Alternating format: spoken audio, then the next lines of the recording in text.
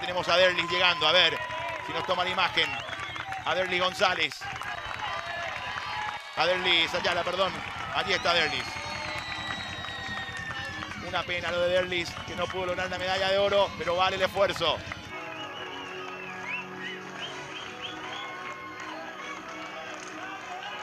Celebra Derlis también con toda la gente que se fue a apoyarle.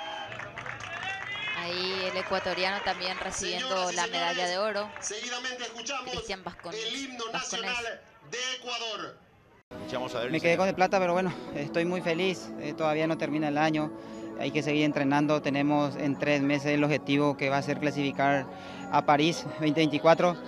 Eh, creo que hay que seguir entrenando como lo vengo haciendo. Estuve seis meses en Colombia haciendo un proceso muy largo para, esta, para estos Juegos.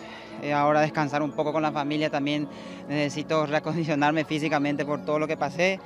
Y feliz, eh, no hay nada que reprocharme, dejé todo y acá está el resultado. Entonces a disfrutar con mis compañeros también porque Paraguay tuvo una cosecha muy grande de medallas y eso es lo más importante. Claro, se festeja también, por supuesto, tu medalla, Derlis, porque sabemos tu sacrificio.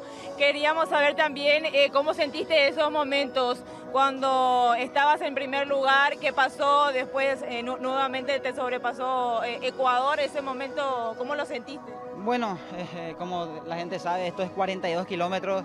Después del kilómetro 35 el cuerpo se queda ya sin electrolito o lo que sea y uno empieza a sentir calambres y fue lo que sentí, sensaciones muy feas. Pero la gente ahí faltando dos kilómetros apoyándome, eso me dio fuerza también para no perder el segundo puesto.